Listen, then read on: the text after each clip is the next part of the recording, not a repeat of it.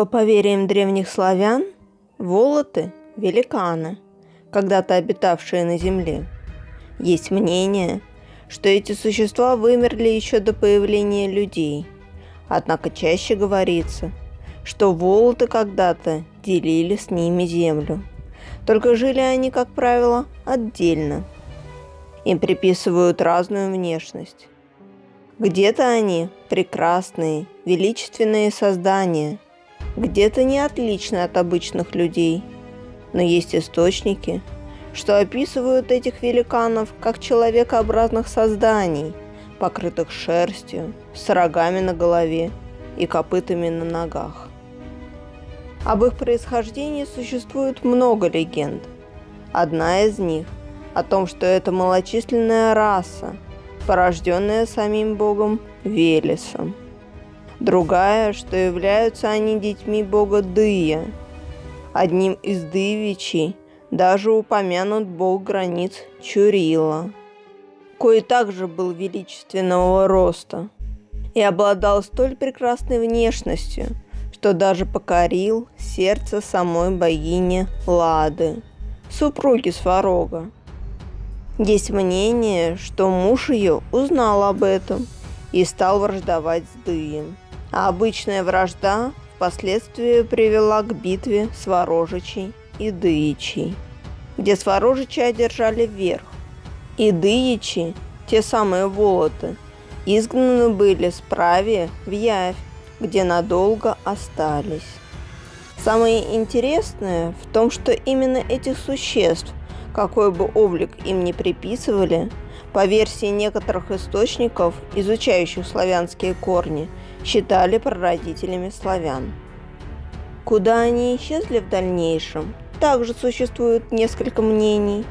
По одним источникам их уничтожили боги за их гордыню и непокорность.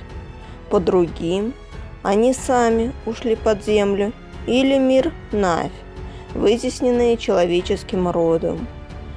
А по-третьим, что просто-напросто они обмельчали и связались с обычными людьми.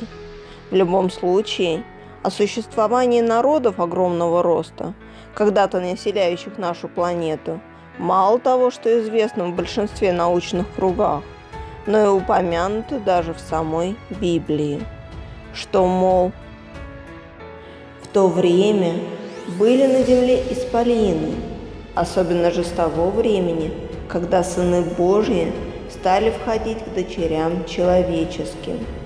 И они стали рожать им.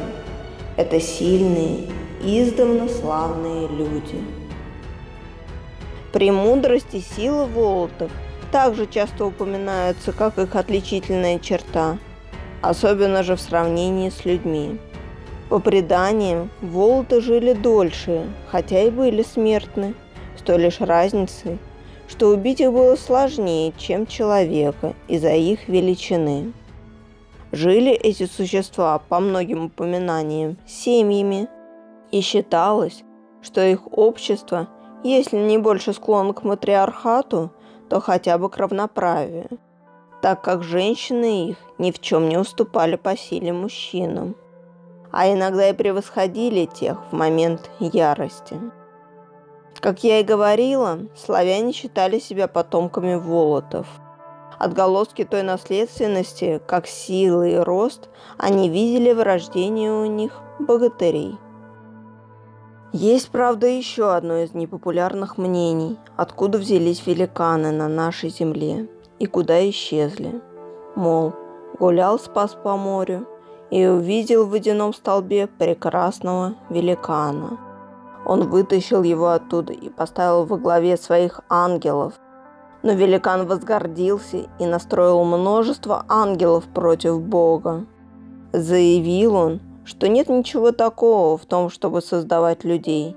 Стал он с другими ангелами трудиться над сотворением человека, но получались у них лишь насекомые да змеи. От непосильного труда лица ангелов и великана почернели, исказились. Бог прогневался и изгнал их от себя.